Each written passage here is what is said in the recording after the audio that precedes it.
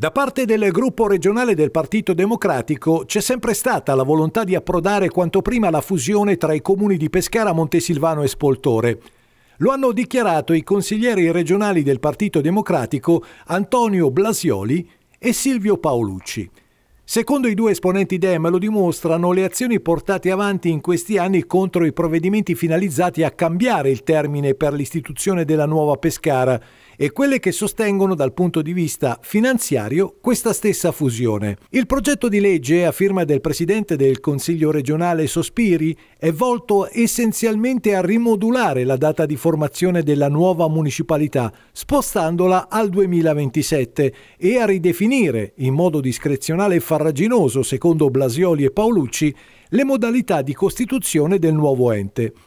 E il disegno di legge in questione contempla l'utilizzo di un ufficio designato che di fatto non è mai stato istituito, e cioè quello incaricato di supportare i comuni nel processo di fusione predisposto con la legge numero 10 del 16 giugno 2022, grazie ad un emendamento proposto dal centro-sinistra, dicono Blasioli e Paolucci, e poi approvato all'unanimità dal Consiglio regionale. In sostanza l'organo avrebbe potuto accompagnare le municipalità nella difficile fase gestazione, mentre invece si sono persi sei mesi e il prossimo settembre, in base alla proposta di legge, sarà chiamato a valutare se ricorrano o meno le condizioni per la nuova Pescara al 2027.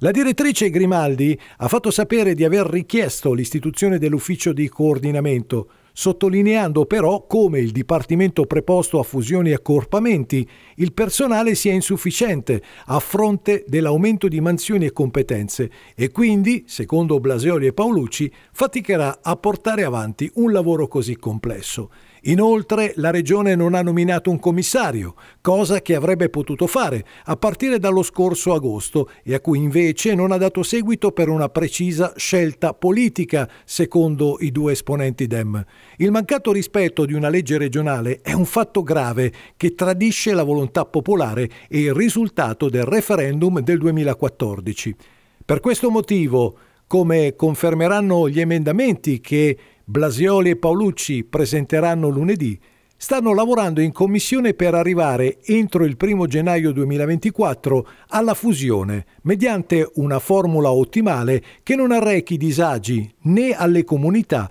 né ai tre comuni.